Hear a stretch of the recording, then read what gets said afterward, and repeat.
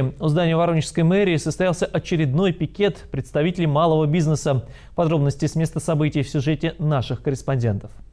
Перед мэрией Воронежа прошел митинг предпринимателей, которые представляют сразу несколько торговых площадок города. Организовал его областной совет трудовых коллективов в поисках диалога с городскими властями. Продвижение есть, диалог, в общем-то, нас- настраивается. Администрация уже приглашала к разговору людей с рынка, э, у у вокзала, с левого берега приглашали а, предпринимателей, которые не подписали доп. соглашения отдельных предпринимателей. Хотя бы уточняли, почему люди не подписывают и в чем причина, что пикет у нас проводится еженедельно.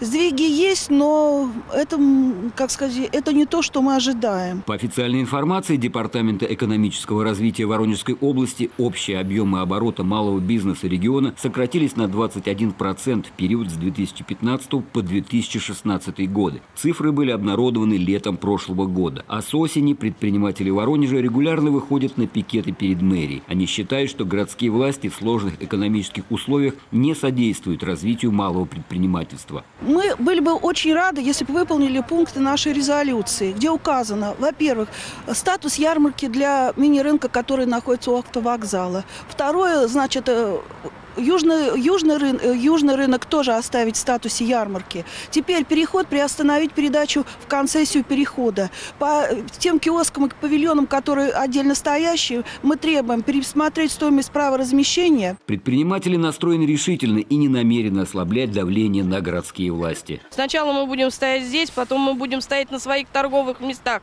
Если в очередной раз они приедут к нам опять с бульдозерами и с милицией, и со всеми делами. Мы будем все время стоять и отстаивать свои права.